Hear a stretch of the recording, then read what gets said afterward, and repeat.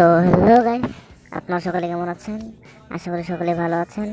আমি আবার একটি নতুন ভিডিও নিয়ে হাজির হয়ে গেলাম। আর সেই ভিডিওটি হলো পেস বিষয় নিয়ে। পেসের সামনের সোমবার সাত তারিখে যে বক্সটা আসবে সেটার প্রেডিকশন নিয়ে। তো আপনারা প্লিজ ভিডিওটি পুরোপুরি দেখবেন। আর যদি ভিডিওটি ভালো লাগে তাহলে অবশ্যই সাবস্ক্রাইব করবেন এবং লাইক করবেন। ওকে আপনাকে স্ক্রিনশটের মাধ্যমে প্লেয়ারগুলো দেখিয়ে দিচ্ছি।